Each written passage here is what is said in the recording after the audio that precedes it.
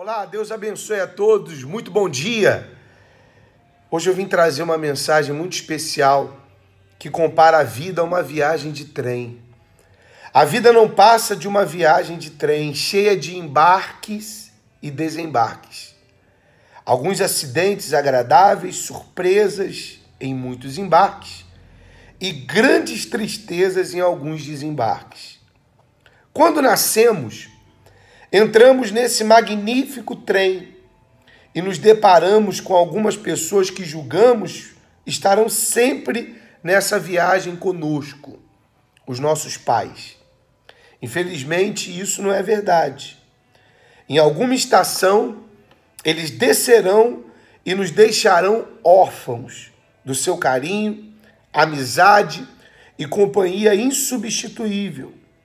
Isso, porém, não nos impedirá que durante o percurso pessoas que se tornarão muito especiais para nós embarquem. Chegam nossos irmãos, amigos, filhos e amores inesquecíveis. Muitas pessoas embarcarão nesse trem apenas a passeio. Outras encontrarão no seu trajeto somente tristezas. E ainda outras circularão por ele, prontos a ajudar a quem precise. Vários dos viajantes, quando desembarcam, deixam saudades eternas. Outros tantos, quando desocupam seu assento, ninguém nem sequer percebe. Curioso é constatar que alguns passageiros que se tornam tão caros para nós acomodam-se em vagões diferentes dos nossos. Portanto, somos obrigados a fazer esse trajeto separado deles. O que não nos impede, é claro, que possamos ir ao seu encontro.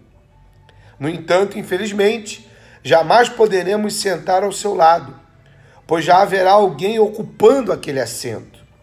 Não importa, é assim a viagem, cheia de atropelos, sonhos, esperas, despedidas, porém jamais retornos.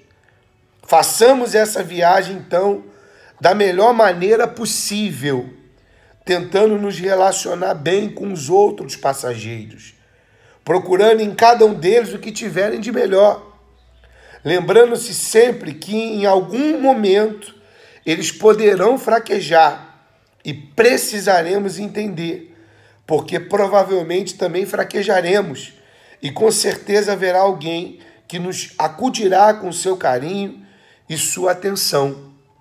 O grande mistério final é que nunca saberemos em qual parada desceremos, muito menos nossos companheiros de viagem, nem mesmo aquele que está sentado ao nosso lado.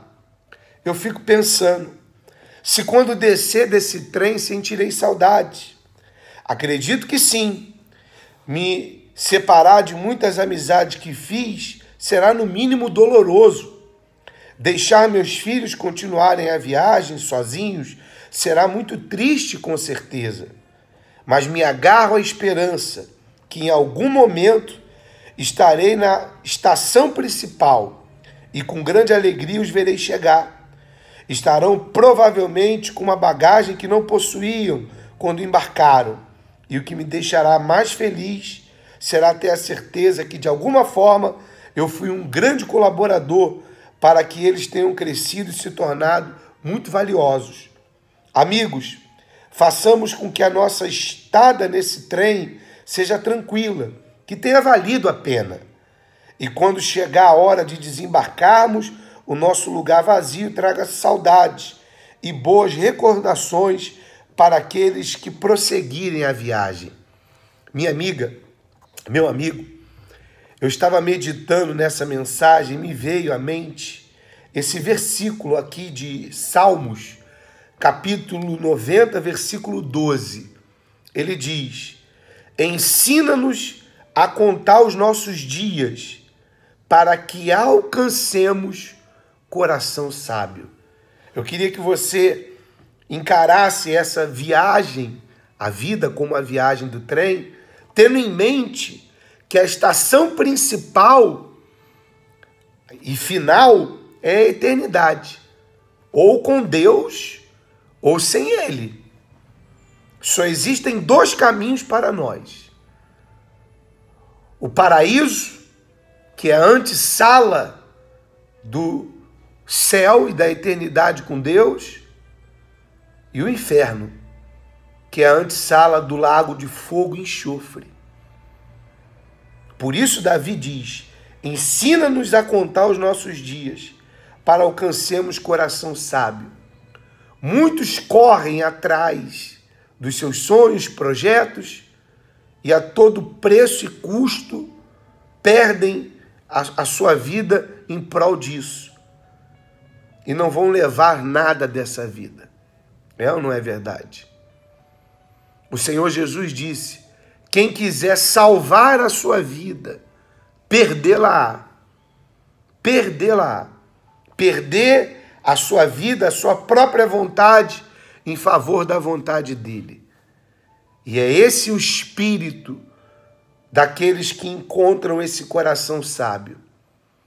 Não vivem mais, deixam Cristo viver através deles. Minha amiga, meu amigo, pense nisso. Se você quiser, pode compartilhar essa mensagem com quem você ama.